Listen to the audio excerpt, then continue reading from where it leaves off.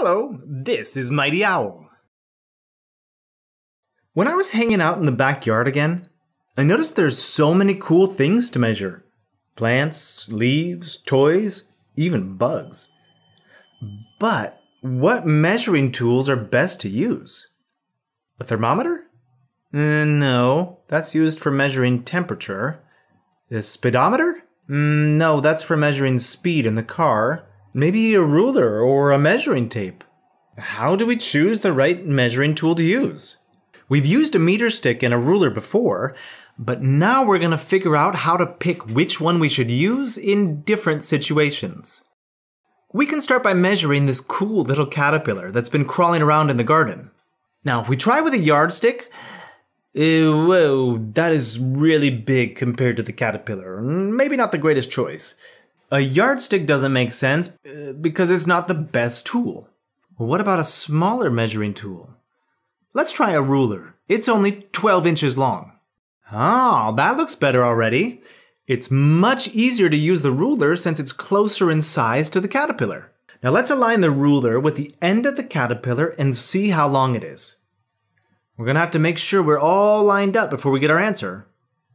And the caterpillar is two inches long. Nice work. But before we find the next backyard object to measure, let's talk a little about different measuring tools. You already know the ruler, which measures in inches or in centimeters on the opposite side, so you can use both. It's 12 inches long on one side and 30 centimeters long on the other side. And since 12 inches is the same as one foot, you can also say that a ruler is one foot long. And another tool that's also in inches is the yardstick. Yeah, but it's longer than a ruler and measures both feet and inches. A yardstick is 3 feet or 36 inches long. Or it's the size of three rulers. And its name comes from the fact that it's one yard long. Although it might not always appear as a mark on the stick, but one yard is equal to three feet. Now, next is the meter stick. Now, this tool is pretty long too, just like the yardstick. But the difference is that it measures in centimeters and millimeters. It's 100 centimeters long, but it's called a meter stick. And so that tells us that one meter is the same as 100 centimeters. You may also ask what is a millimeter, or mm as it's written on the meter stick.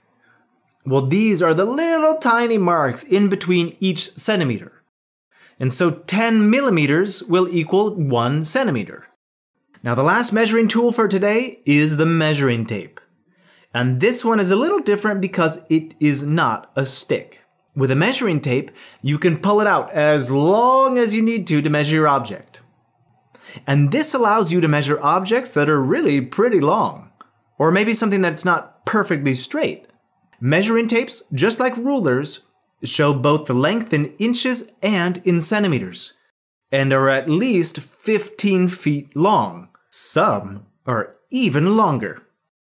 Now, the most important thing to remember is that rulers are the best for shorter objects, meter sticks and yardsticks are best for longer objects, and measuring tapes are good for really long objects.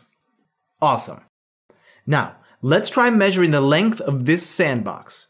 First, we need to figure out which measuring tool makes the most sense. Well, the ruler is definitely too short for this job.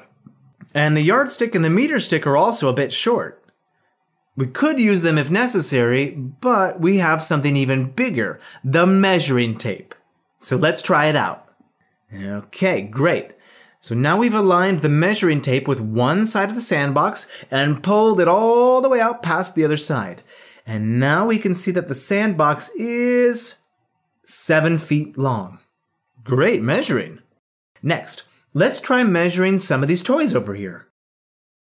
There's a toy shovel and a baseball bat.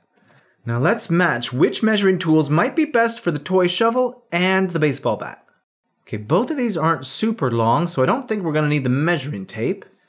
Huh, the baseball bat looks too long for the ruler, so we need to use the yardstick or the meter stick for that.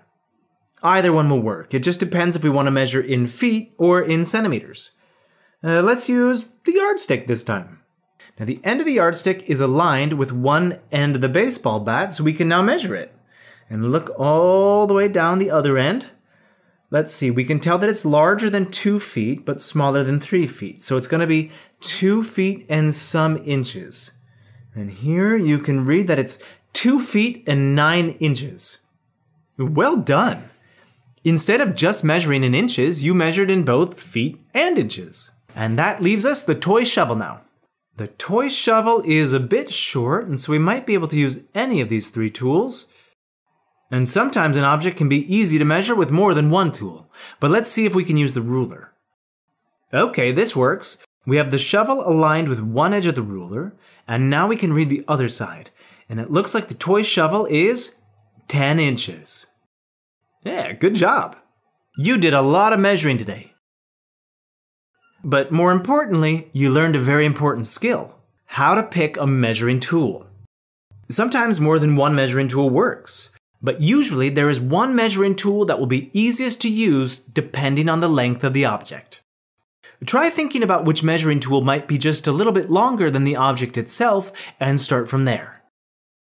I think I'm going to go measure my little brother. See you later.